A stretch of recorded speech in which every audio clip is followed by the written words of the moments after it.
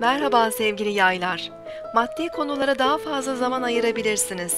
Yeni maddi kaynaklar yaratmak veya erişemediğiniz kaynaklara ulaşmak için fikirler üretebilir, var olan kaynakları nasıl daha karlı hale getirebileceğinizi düşünebilirsiniz.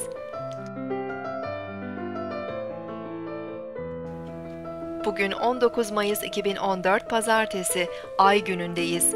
Oğlak Burcu'ndaki Ay maddi manevi, somut ve pratik değerleri öne çıkarıyor. Sabah saatlerinde Boğa Burcu'ndaki Güneş'le üçgen açı yapan Ay, 10.03'te boşluğa girecek. Duygularımız ve düşüncelerimiz arasında denge kurmak daha kolay olabilir ve kendimizi güvende hissedebiliriz.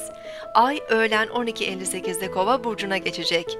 Günün geri kalan kısmında özgür, idealist ve sosyal enerjiler yoğunlaşacak yoğunlaşacak. Toplumsal kavramlar, organizasyonlar, grup faaliyetleri ve arkadaşlıklar öne çıkabilir.